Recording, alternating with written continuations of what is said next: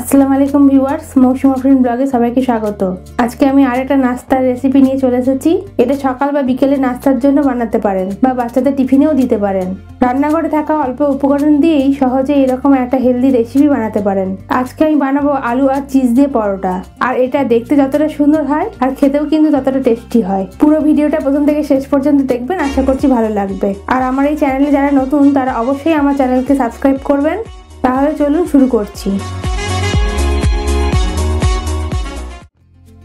আমি এখানে নিয়ে নিচ্ছি দু বাটি আটা আর দু বাটি ময়দা।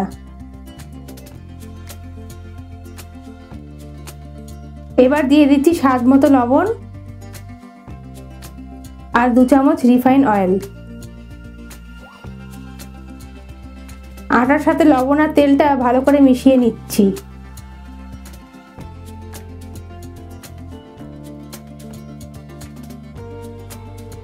ভালো করে মিশিয়ে নিয়েছি।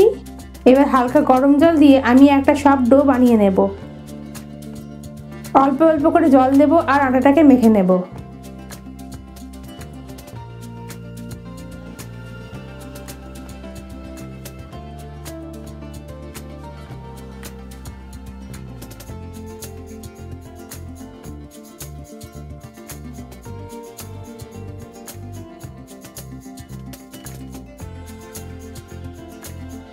দেখুন, আমি একটা শব্দ তৈরি করে নিয়েছি।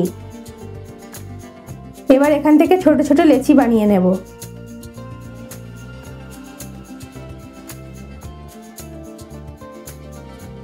এখান থেকে প্রায় দশ বারোটা লেচি হবে।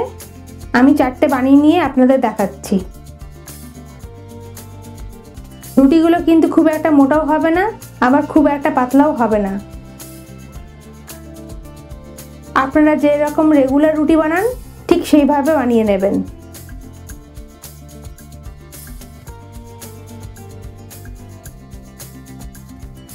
এবার রুটিগুলোকে এপাশ ওপাশ করে হালকা সেঁকে নিচ্ছি।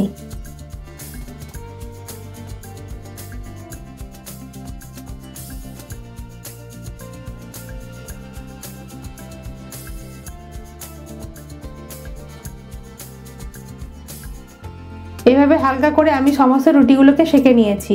এরকম হালকাভাবে সেঁকে রেখে দিলে এই রুটিগুলোকে দু তিন দিন ধরে ইউজ করতে পারবেন। এবার এটাকে রেখে দিয়ে আমি একটা আলুর পুর বানিয়ে নেব।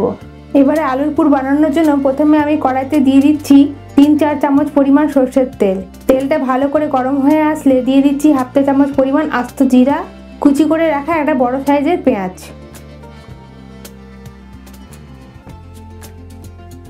পেঁয়াজটাকে হালকা ব্রাউন করে ভেজে দিয়ে দিচ্ছি এক চামচ পরিমাণ আদা, রসুন বাটা।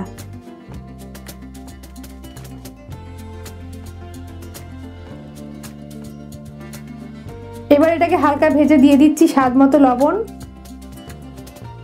দু চা চামচ জিরে গুঁড়ো। দু চা চামচ ধনে গুঁড়ো। এক চা চামচ হলুদ গুঁড়ো। এক চা চামচ পরিমাণ কাশ্মীরি লঙ্কার গুঁড়ো। সব কিছুকে একসাথে ভালো করে ভেজে নেব, যাতে যেন কাঁচা মশলার গন্ধটা চলে যায়।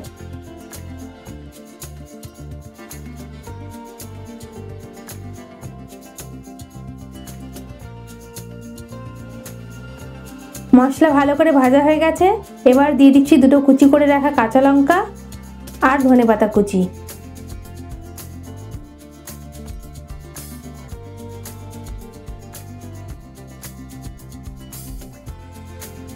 আবার ভালো করে সমস্ত মশলা মিশিয়ে দিয়ে দিচ্ছি, আগে থেকে সেদ্ধ করে রাখা চারটে আলু। আলুটাকে আমি সেদ্ধ করে গরম অবস্থায় ম্যাশ করে রেখেছিলাম। এবার সমস্ত মশলা আলুর সঙ্গে মিশিয়ে নিচ্ছি।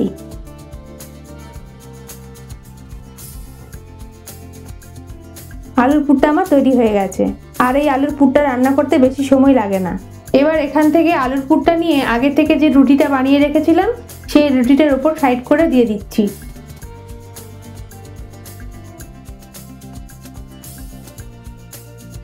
একটা সাইড করে দিয়ে দিয়েছি। এবার উপর থেকে কিছু গ্রেট করে রাখা চিজ দিয়ে দিচ্ছি।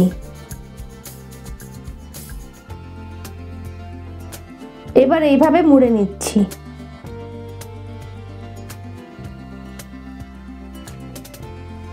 এইভাবে আমি বাকি রুটিগুলোকেও বানিয়ে নেব। সমস্ত রুটিগুলো এইভাবে তৈরি হয়ে গেছে। এবার এগুলোকে ভেজে নেব। এবার এটা গরম তাওয়াতে দু টেবিল চামচ রিফাইন তেল দিয়ে দিচ্ছি। তেল গরম হয়ে গেলে দিয়ে দিচ্ছি রুটিটা। এক মিনিট মতন পরে একটা পিঠ লাল লাল ভাজা হয়ে গেলে এটাকে উল্টে দেব। এবার অন্য দিকটাও এভাবে লাল করে ভেজে নেব।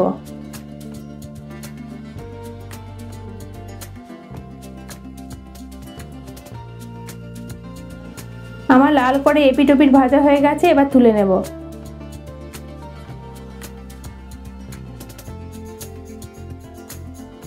এইভাবে আমি সমস্ত পরোটাগুলো তৈরি করে নেব। চিজ আলুর এই পরোটাটা যে কারোরই জিভে জল এনে দেবে। এটা বর্ষা থেকে শীত যে কোনো সময় সবচেয়ে সেরা নাস্তার রেসিপি ঝটপট একটা নাস্তার রেসিপি আজকে আমি শেয়ার করলাম। আপনারা বাড়িতে একবার হলেও ট্রাই করবেন। আশা করছি ভালো লাগবে। তাহলে আমার এই আলু, চিজ, পরোটার রেসিপিটা কেমন লাগল? অবশ্যই একটা কমেন্ট করে জানাবেন। আর আমার এই রেসিপিটা ভালো লেগে থাকলে ভিডিওটিকে লাইক করতে ভুলবেন না।